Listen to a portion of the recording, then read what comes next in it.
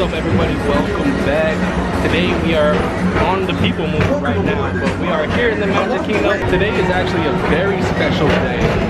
A very iconic ride and a very iconic building in any theme park turns 45 years old today and I'm going to tell you a bunch of facts and cool secrets about that ride. But yes, we are talking about Space Mountain.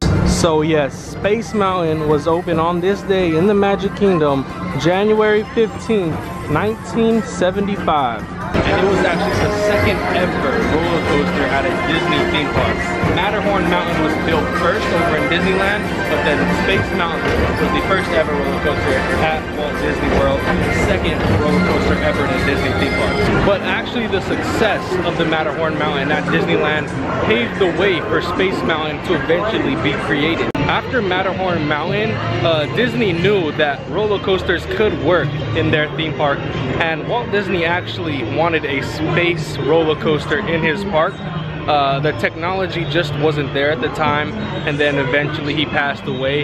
But this ride Space Mountain was in discussion to be created for a very very long time years before it was eventually created in 1975 and actually at the Walt Disney World Preview Center there was concepts of a space themed roller coaster that was going to go in the Magic Kingdom a little side note, if you want to learn more about the Walt Disney World Preview Center, I'll leave a link to a history video I did in the description down below. Early names for the space roller coaster were Spaceport and Space Voyage. But waiting for technology to catch up, Disney eventually completed the Space Mountain building and roller coaster January 15th, 1975. And on that opening day, there was actually NASA astronauts and Disney characters dressed as astronauts, as well as a 2,000 man marching band. And when this coaster opened, it was the very first roller coaster to be completely controlled by computers. And it was the world's first indoor steel roller coaster. So in Space Mountain, there is actually two tracks, Alpha and Omega. Right as of today, because of Fast Pass Plus, Fast Pass will go in one direction to one of the tracks and the standby queue will go to the other track. I forget which track is which though. But if you do get the Alpha track, will actually be on a little bit of a longer ride. The Alpha track is 10 feet longer than the Omega track. And going back to the Matterhorn Mountain, how it kind of influenced Space Mountain a little bit, if you look at the ride vehicles, they are very similar. It's a one person per seat kind of a car and everyone sits behind each other and that's exactly how over here in Disney World Space Mountain it is. So since the original ride here in Magic Kingdom opened, since the original Space Mountain opened in 1975, there have been four other Space Mountains open around the world. There is the one that opened in 1977 in Disneyland, the one in Tokyo Disneyland opened in 1983, the one in Disneyland Paris opened in 1995, and the one in Hong Kong Disneyland opened in 2005. The Space Mountain that is in Hong Kong as well as in Tokyo are very, very similar. They're pretty much identical to the one that's in Disneyland. Actually, the one at Disneyland in California is a lot smaller than the one over here in the Magic Kingdom because as you guys know, Disneyland is a lot smaller park. They don't have a lot of room to work with.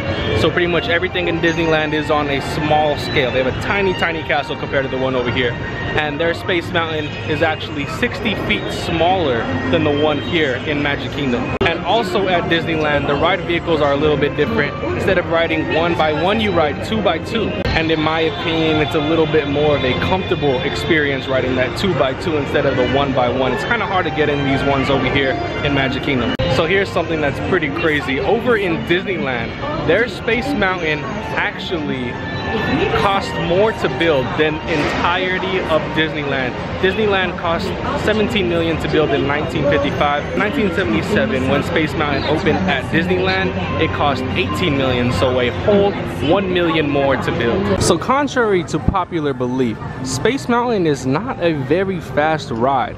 Um, it actually only goes a top speed of 28 miles per hour. It just feels a lot faster because you're in the dark and you can't see anything, but it is actually only three miles per hour faster than the very slow and short Barnstormer. All right, last little fact and secret.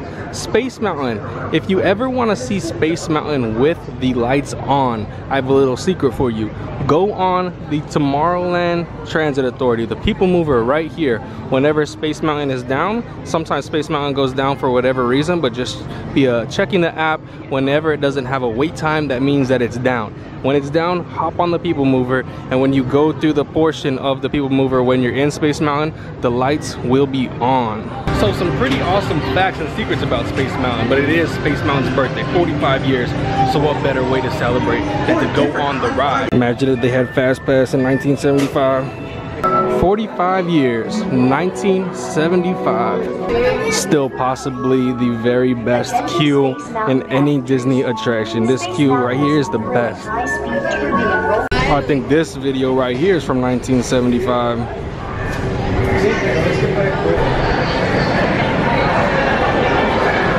Okay, so I figured it out. Standby goes to Alpha, Fast Pass goes to Omega. These look like the computers they might have used in 1975. 45 years.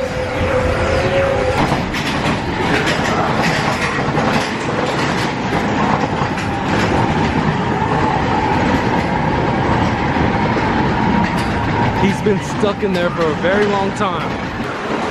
Oh yeah, this feels faster than 28 miles per hour.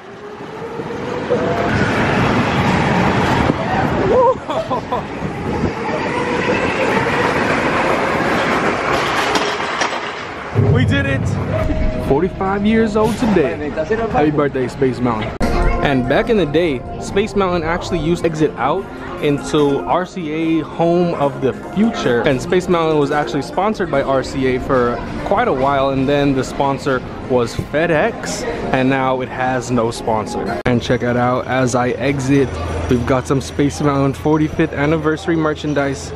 This just came out today, of course. We got a hat, pretty cool. That cup's pretty awesome too. And then we got a cool shirt, Space Mountain 45th anniversary.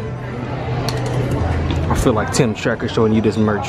So Space Mountain, 45 years. I can't believe that this roller coaster has been around for 45 years and is still the best roller coaster at the Magic Kingdom. But pretty soon we got Tron Light Cycle Run coming over here. A lot of people thought maybe this would replace Space Mountain. Thank goodness it didn't. Uh, people would have revolted if it would replace Space Mountain. But happy 45th birthday, Space Mountain. But man, what a great way to end the day over here, celebrating Space Mountain 45th anniversary by riding the ride. And I was able to share with you guys some pretty awesome facts, some cool stories and secrets about Space Mountain. So I hope you guys enjoyed the video. If you did, give it a thumbs up. Comment down below, happy 45th anniversary, Space Mountain. It's, def it's definitely the roller coaster here at the Magic Kingdom. Probably top three roller coaster in all of Walt Disney World. I love it so much. I hope Space Mountain doesn't go away uh, Space Mountain is a classic, a theme park classic. Have you guys ever been on Space Mountain? Which Space Mountain is your favorite? I know a lot of people like Disneyland Space Mountain a little bit better. I think I am in that boat too, but Space Mountain either way, definitely an amazing, amazing attraction. But guys, thank you very much for watching.